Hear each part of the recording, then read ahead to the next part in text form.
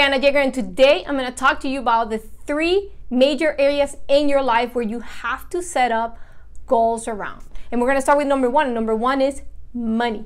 Money is something that intimidates a lot of people. And if you really think about it, or think about your life or your case, there might be some fears or negative thoughts uh, around money, like it ruined your family or your parents' marriage, or is the root of all evil. But the reality is that money is here to help us, period. Money is awesome. And when it comes to work, money is the ultimate performance indicator to whether you're doing a good job or not. That's a reality, whether you like it or not. You can show me a goal from work and I can tie that back to perform, uh, I can tie that back to money. So, it, it, and that's awesome because when you're intentional about setting up goals that drive you to bring the money that your business needs, and provides you with the freedom that you want to live your life as you prefer, then everyone benefits. So create goals understanding the money factor for your business in your own pocket. So this is a new week, a new week. So what money goals do you need to create this week? Okay, let's move to number two. Number two is your health. I was just chatting with my friend who's on a diet and she couldn't understand why I would prefer to eat oatmeal than a burger with tons of bacon and melted cheese on it. We were exchanging uh, pictures of food. I would prefer the oatmeal all the time without a doubt of how because of how it makes me feel afterwards.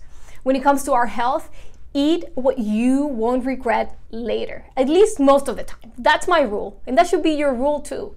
I eat a couple of chocolate chips every single afternoon with my coffee but the rest of the meals are filled with a bunch of food that make me feel great. Uh, and also exercise regularly. Make sure you're moving and challenging your body to feel stronger. Don't focus on losing pounds, it's just about feeling stronger. And make a life commitment around that. I can guarantee you that you'll be leading yourself with a clear mind, a happier mood, and feeling like the hottest pe- person that's walking around, you know, where you live.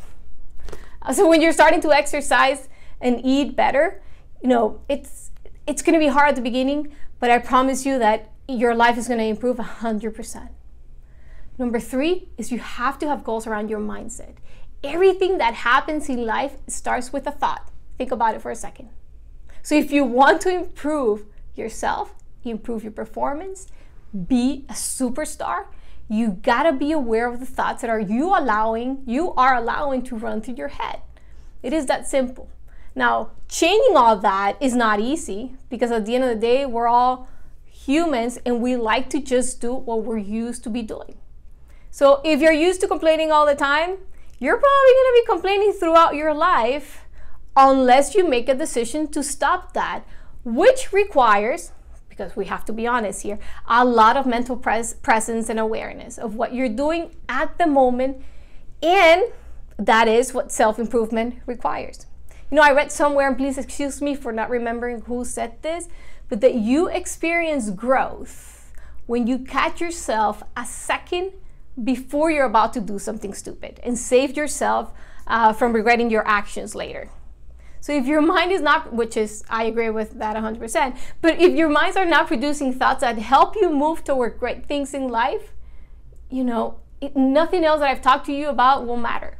So if you want to improve, read books that inspire you, talk to people that can help you grow. Uh, and they're doing great in life, by the way. Don't talk to the complainers, talk to successful people. And, and do things that make you feel better about yourself. Because I'm going to tell you a secret all of us feel like that sometimes. We don't feel sexy enough, or smart enough, or prepare enough. The difference is what each of us do about it. Like every time I feel I, I don't feel my best, I follow my recipe. I um, the first thing that I do is that I, I increase the intensity of my workouts because they clear all the fog in my head. The other thing is that I pick up a new book to read, a self-help book. The, four, the third thing I do is that I talk to one of my sister, and the fourth thing is that I try to catch up with my best friend with over a glass of wine. But you have to figure out what works for you. This is nobody else's responsibility. It's not your boss's responsibility of or your spouse's. It's your responsibility. So what's going on in your mind right now? What is your opinion about yourself, your team, your boss, or the place that you work at? Look, I'm happy to help. This is why I'm creating this video. But you just have to send me a direct message with a question so I can do that. Thank you all for watching, and I'll see you soon. Bye.